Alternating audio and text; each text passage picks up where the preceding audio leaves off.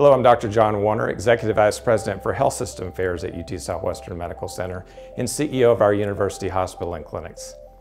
We're delighted that you're interested in UT Southwestern for your training, and I regret that we can't be here in person together to show you all the great things that UT Southwestern has to offer.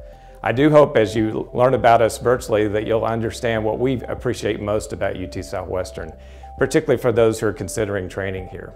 It's a wonderful place to train. We're known nationally for quality and service, and our multidisciplinary team-based approach to patient care makes this a wonderful place to train and learn.